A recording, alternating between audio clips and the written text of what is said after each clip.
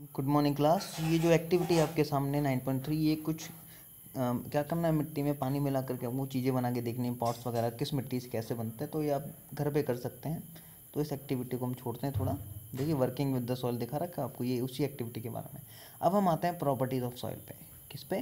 Properties of soil देखिए percolation rate of water in soil यानी कि परकोलेशन रेट देखिए परकोलेशन रेट क्या होती है? किसी भी मिट्टी के पानी एब्जॉर्व करने की कैपेसिटी यानी कि कोई मिट्टी कितना पानी एब्जॉर्ब कर सकती है? उनकी retaining power retaining power of soil of of consuming water ठीक है? देखिए बुजोइन पहली mark two different square fifty fifty centimetre each one on the floor on their house and one other on the कच्चा या अनपेव्ड रोड ठीक है? एक तो उन्होंने घर पे बनाया इतना फिफ्टी फिफ्टी का स्क्वायर और एक कच्चे रोड पे बनाया। They fill two bottles of the same size with water they emptied the water from the bottles, one each at the same time in two squares. They observed that the water on the floor flowed down and was not absorbed.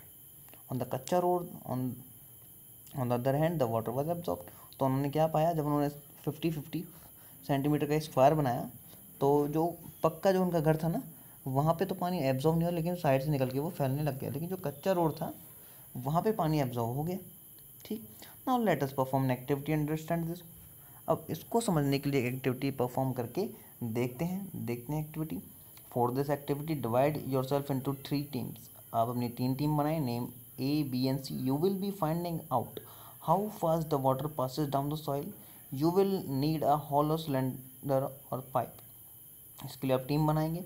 आपको एक hollow cylinder या फिर pipe की need होगी। Ensure that each team uses pipes of the same diameter ये ध्यान रखना कि हर टीम सेम डायमीटर के पाइप्स यूज़ करे, ठीक है ना? यानी एक लंबा पाइप लें, उसके तीन टुकड़े कर लें।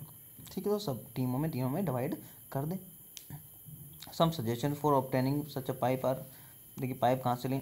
If possible get a small tin can and cut it its bottom tin can वगैरह ले लें, इनके बॉटम्स को कट कर दें। पीवीसी पाइप भी आप ले सकते हैं, ठीक है? पाइप तो आप कहीं से भी ले सकते हैं, नली वगैरह, आप समझ गए होंगे मेरी बात। At the place where you collect the soil place the pipe about two centimetre deep in the ground pour two hundred M L water in pipe slowly for measuring two hundred M L water you can use any empty two hundred M L bottle अब आपको क्या करना है? Two centimetre pipe को अंदर तक डालना है। डाल दिया।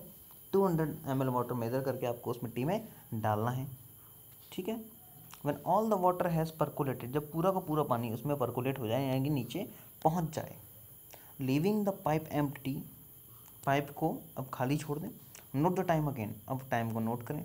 Be careful not to let the water spill over the run down or the outside of the pipe while pouring लेकिन जब आप पानी डाल रहे हो तो जो पाइप है ना, जो पानी है पाइप के इधर उधर से ना निकले, इसका ध्यान रखें। अब परकोलेशन रेट को कैलकुलेशन करने का एक फॉर्मूला भी है। परकोलेशन रेट ठीक है? अमाउंट ऑफ़ वाटर आपने कितना वाटर लिया है? और नीचे percolation time amount of water होता है मिलीलीटर में और टाइम आपका मिनट्स में। ठीक है, जो आपका आंसर निकल के आएगा, उसकी यूनिट जो बनेगी ना, वो होगी डैश मिलीलीटर पर मिनट ठीक है ना for example suppose that for a certain sample it took twenty minute to two hundred M L to percolate कि भी एक छोटा सा एग्ज़ाम्पल लें तो बीस मिनट लगते हैं दो सौ एम एल वाटर को परकोलेट होने में, यानी कि मिट्टी इसके एब्जॉर्ब करने में। तो उसका आंसर क्या निकलेगा? Amount of water two hundred उसका टाइम कितना लगा? ट्वेंटी अब टू हंड्रेड को आप ट्वेंटी से कट करेंगे तो वन ज़ीरो से वन ज़ीरो गया और टू से ट्वेंटी को डिवाइड करेंगे तो टेन आ गया। तो टेन मिलीलीटर पर मिनट ये क्या आ गई? उस मिट्टी की परकुलेशन रेट आ गई।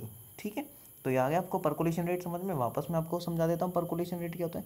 किसी भी मिट्टी की पानी के एब्जॉर्व करने की कैपेसिटी ठीक है, उसकी परकोलेशन रेट कहलाती है। यहाँ पे परकोलेशन रेट निकालने का एक फॉर्मूला दे रखा है, वो क्या है? Percolation rate is equals to amount of water upon percolation time और इसकी यूनिट होती है मिली लीटर पर मिनट ठीक है बच्चों? आप इसको एक फार्मूला को लर्न करें, इस सवाल को करके देखें और इस पूरी एक्टिविटी को वापस से पढ़ें। और इससे पहले भी एक और एक्टिविटी है, उसको भी एक बार पढ़ के देखें, वो घर पे आप कर सकते हैं। और इसके बाद हम पढ़ेंगे नेक्स्ट टॉपिक पर। ठीक है क्लास